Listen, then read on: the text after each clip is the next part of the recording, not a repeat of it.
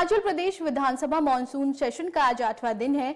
27 अगस्त से शुरू हुआ मानसून सत्र। 9 सितंबर को खत्म होगा मतलब अब सिर्फ़ दो दिन ही बाकी हैं। ऐसे में आज प्रश्नकाल के दौरान सबसे पहले रणधीर शर्मा का नए संस्थानों पर पूछे गए सवालों की गूंज सुनाई देगी। इसके बाद सुदर्शन शर्मा के राजस्व विभाग से संबंधित गैर मौरूशी को लेकर पूछे गए सवाल पर सदन में चर्चा होगी। वहीं अजय सोलंकी ने डेवलपमेंट प्लान से संबंधित सवाल पूछा है।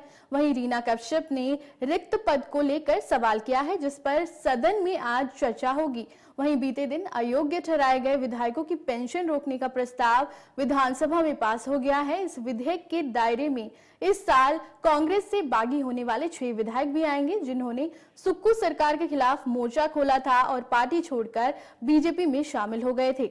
इसे लेकर भी सदन में हंगामा देखने को मिल सकता है।